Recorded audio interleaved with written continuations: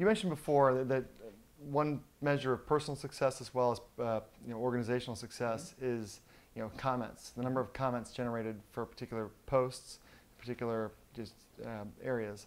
What are the challenges associated with the constant influx of viewer commentary?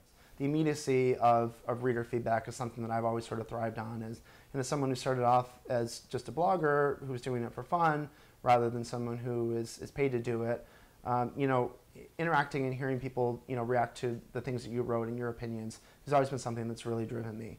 And you know, in terms of a commenter culture, you know, uh, when I worked at, at, at, Gawker Media and also you know New York Magazine, commenters are a really really important part of the site. You know, one of the things I, I try to do at, at the end of every day and at the beginning of every morning before I go and, and filter out any other news sources or things to do, I like to go through all of our posts and, and read all of our comments. So that's usually something that you know can take you know 45 minutes to an hour at the end of every day, and sometimes in the beginning of the morning as well. You know, I just think it's I think it's important. You know, because if you took the time to write something and someone took the time to to write a comment about it, I don't think you necessarily need to to respond to every single person who wrote something.